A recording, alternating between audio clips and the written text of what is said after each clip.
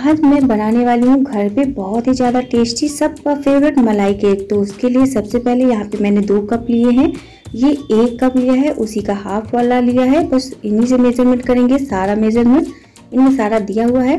तो यहाँ पे देखिए, सबसे पहले हम डालेंगे हाफ़ कप चीनी।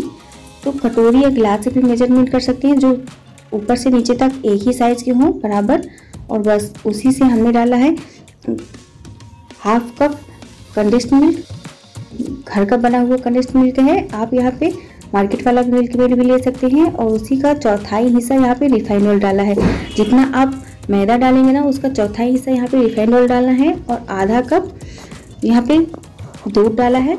दूध ना हो तो आप यहाँ पे दही भी डाल सकते हैं, लेकिन खट्टा नहीं होना चाहिए और ये सारी चीज़ों को मिक्स कर देंगे। और हाँ दूध आप एक साथ में बिल्कुल मत डालिएगा, थोड़ा सा, थोड़ा करके डालिएगा, हो सकता है आपका मिल्क मेड गाढ़ा पतला हो सकता है तो इसको अकॉर्डिंग डालिएगा।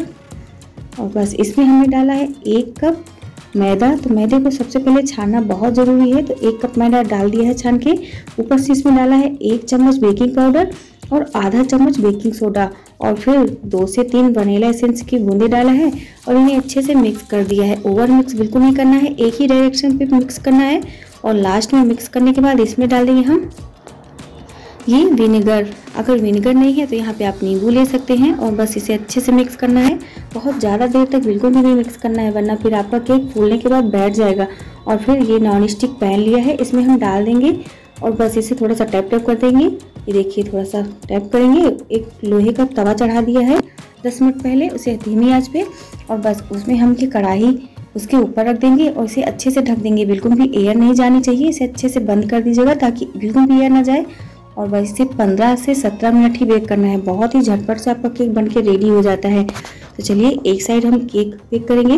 तब तक अब मलाई केक है तो इसकी मलाई रबड़ी भी तैयार कर लेते हैं। तो सबसे पहले हमने यहाँ लिया है एक गिलास दूध। तो इसे थोड़ा सा बॉयल होने देंगे। यहाँ पे थोड़ा सा टेस्ट अच्छा करने के लिए और रबड़ी जैसा फ्लेवर जल्दी लाने के लिए तो हमने यहाँ पे डाला है। मलाई भी डाल दिया है घर की। इसी दूध की मलाई डाला है, अलग से नहीं डाला है। और बस यहाँ पे थोड़ी सी चीनी डाला है। ज़्यादा मीठा नहीं करना है, अपने अकॉर्डिंग करिएगा। और बस इसमें थोड़ा सा जल्दी गाढ़ा हो जाए। वही मिल्क मेड हमने जो घर पे बनाया था ना, उसी को डाल दिया है। आप चाहे तो मार्केट वाला डाल सकते हैं। और ये रबड़ी जैसा फ्लेवर देने के लिए थोड़ी सी इलायची कूट के डाल दीजिए। और चाहे तो इसमें ड्राई फ्रूट्स ऊपर से भी डाल सकते हैं, पर ड्राई फ्रूट्स में आप बाद में डालूँगी। तो बस ये देखिए ये लगभग 15 से 17 मिनट में ही बेक हो जाता है। केक हमारा बनकर रेडी हो जाता है। एक नाइफ लीजिए, उसे बीच में डाल के देखिए।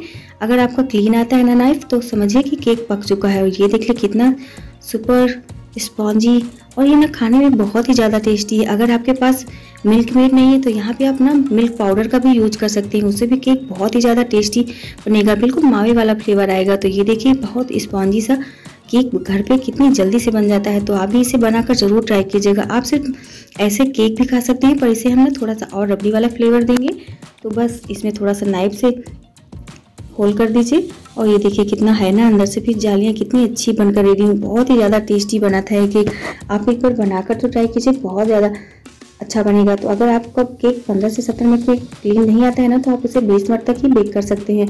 और ये बहुत ही जल्दी बन जाता है ऐसे पैन पे। और बस ये जो हमने रबड़ी बनाकर रेडी की थी ना तो बहुत ज़्यादा गाढ़ी नहीं करना है मीडियम में रखना है। और फिर बस ऊपर से इसमें ड्राई फ्रूट डाल रहे हैं। और ये देखिए, हमारा सुंदर सा मलाई केक बनकर रेडी है। बहुत ही आसानी से। अब इसे थोड़ा सा ना ठंडा होने के बाद ही आप काटिएगा। यहाँ पे बच्चे अगर होते हैं ना तो वो वेट ही नहीं करते हैं। तो मैंने थोड़ा सा जल्दी में काटा था तो ये थोड़ा सा गर्म की वजह से ना बिगड़ गया था सेब। तो आप इसे ठंडा करके खाइएगा। जब इसे ठंडा करके खाए ना तो बहुत ही ज़्यादा टेस्टी लग रहा था। तो आप भी ऐसे ही बनाइए खाइए इन्जॉय कीजिए। वीडियो पसंद आया, लाइक से